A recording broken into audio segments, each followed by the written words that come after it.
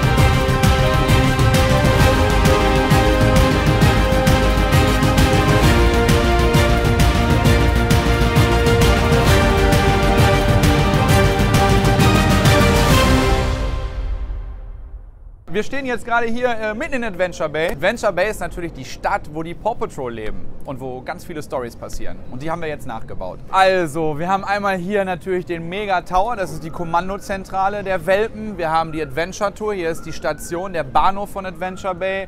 Wir haben den Strand, da äh, spielt sich sehr viel ab um den Labrador Zuma, Zuma Zuma als Fahrgeschäft.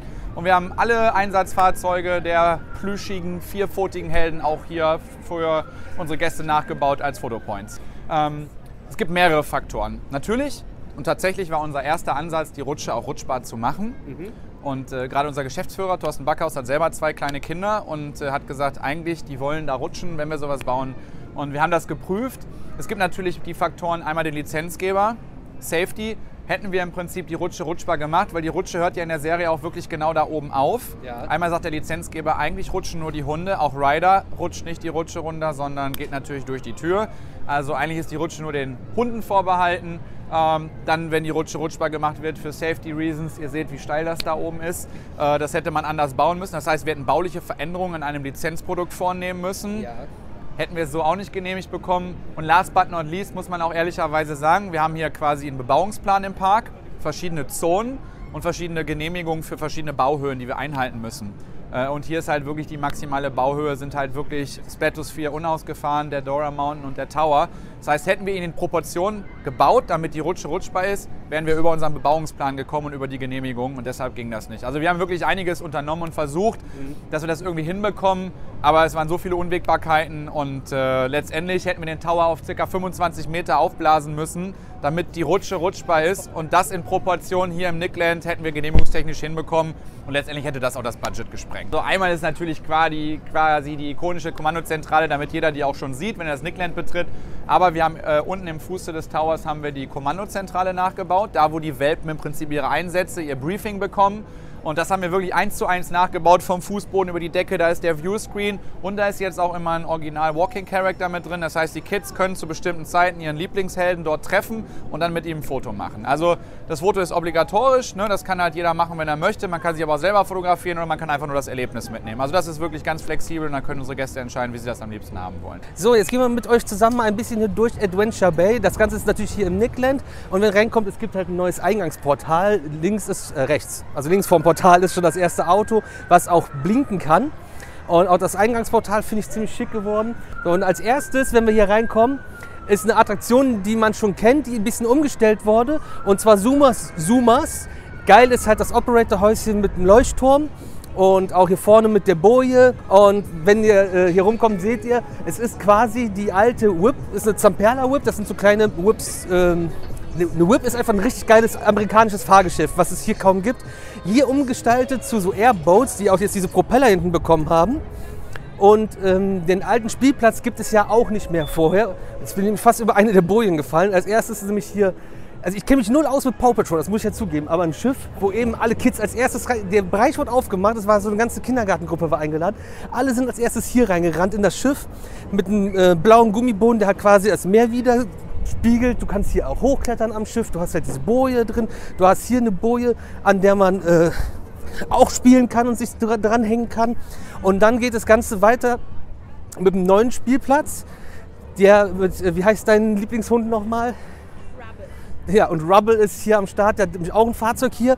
Äh, Die haben ja alle eigene spezielle Fahrzeuge und die sind auch hier vertreten. So, und der alte Spielplatz ist ja nicht mehr hier, aber dafür gibt es halt einen neuen Spielplatz aus Holz, also ein klassisches Klettergerüst. Aber was halt auch unfassbar cool ist, sind äh, die Bagger, die jetzt hier mit dabei sind. Und äh, natürlich ist das Geilste dabei, dass du keinen Münzeinwurf hast, sondern einfach so mit dem Bagger spielen kannst. Dann, was ähm, eine Sache, die Manuel euch ja auch schon im Video erzählt hat, ähm, ist natürlich der Turm mit dem Meet and Greet, wo eins der lautesten und auffälligsten Autos vorsteht. Das war jetzt nicht abgesprochen, aber äh, sehr cool. Und wenn ihr dann weitergeht, kommt dann noch die große Attraktion, die Paw Patrol Adventure Tour. Und das ist eine komplett neue Attraktion. Der, ähm, die Whip, die ist ähm, umthematisiert worden, aber die Paw Patrol Adventure Tour ist eine komplett neue Attraktion, auch aus dem Hause Zamperla, aber ein Convoy Trucks Ride. Und äh, du fährst aber nicht als Convoy, sondern sechs Autos fahren separat einzeln. Und jedes Auto sieht auch anders aus und ist auch wieder den Autos der Hunde nachempfunden. Und äh, neben Knöpfen mit Geräuschen, die die Autos machen, zum Beispiel bei dem Müllwagen, gibt es hinten auch noch so ähm, ja, Spielgelegenheiten, wo man die Bilder drehen kann, wo man sortieren kann, welcher Müll ist jetzt zum Recycling und Bio und so weiter. Und das ist ja, das alles, was jetzt hier neu in diesem Bereich ist. Natürlich der Snacks und Drinks Restaurant ist auch noch hier vorhanden. Und was ich auf jeden Fall auch noch dazu sagen muss, ist einfach, dass hier so viele kleine Details sind, wie oben die Möwen, die auf diesen Stangen sitzen beim, äh, beim Sumas Sumas. Halt dann der Tower, der echt cool aussieht. Also auch ohne, dass ich davon Knowledge habe. Dann bei den Convoy Rides, dass da halt über Figuren sind. Du hast äh, die Straße, wo gefahren wird und dann hört die Straße auf, weil der Bürgermeister, der ist glaube ich der Böse in der Serie, dafür gesorgt hat, dass die Straße kaputt ist und dann muss man Offroad fahren. Das ist ja auch ein Offroad-Convoy-Truck. Und äh, der Bürgermeister ist auch als Figur vorher da. Dessen Kompan sind Katzen, was natürlich witzig ist als Gegenspieler zu den Hunden. Und äh, später geht es wieder auf die Straße und dann hat der Bürgermeister so einen Eimer Farbe über dem Kopf und ist halt besiegt quasi. Und ähm, ja, super viele Details, super schön geworden. Mir gefällt das wirklich sehr, sehr gut. Und wenn ihr bzw. eure Kinder euch auskennen, schreibt mal gerne eure Meinung dazu in die Kommentare. Ansonsten erfahrt ihr jetzt noch ein bisschen was ähm, Hintergrundwissen zu dem, was Nickelodeon und Parques Reunidos, die große Kette, zu dem der Movie Park Germany gehört, äh, dazu zu sagen haben. Und ansonsten bin ich jetzt raus. Ihr seid die coolsten, euer Bro fürs Beispiel Videomagazin. Tschüss.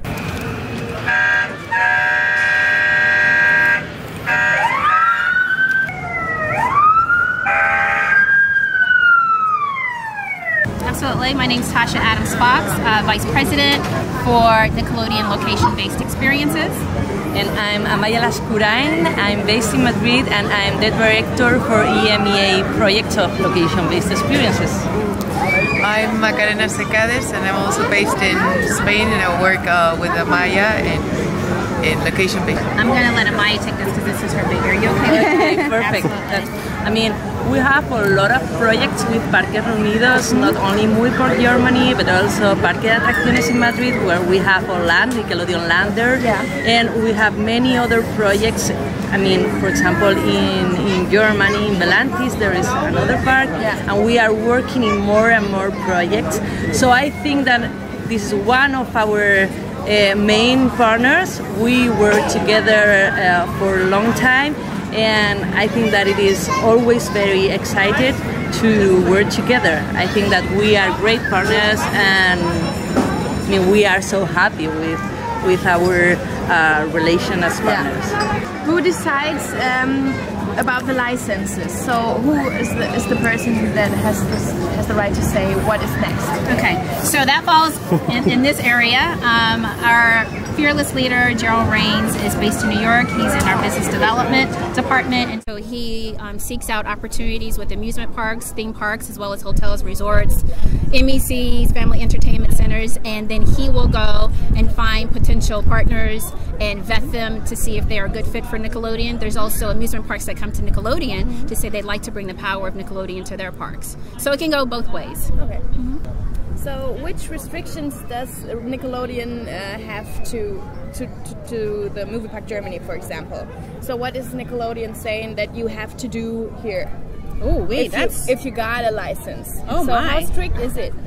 that that's a big uh, Yeah, that's big a big question. question. It's more than restrictions. I mean, we are always trying to uh, to take care of our brand. And we have a toolkit, we have brand guidelines, Yeah. and we want to follow that guidelines around the world because we are a global brand. So we are not talking about restrictions, we talk more about taking care of our brand. Okay. That was awesome. That You was see what I had right here? Great. Great. So we'll leave you with a few parting words. We're just really excited for the grand opening of Paw Patrol, as you can see over there. It's pretty amazing. Um, it's been a long time coming. The teams have worked really hard, and so we're just excited to be a part of Movie Park and its history and bringing Paw Patrol here.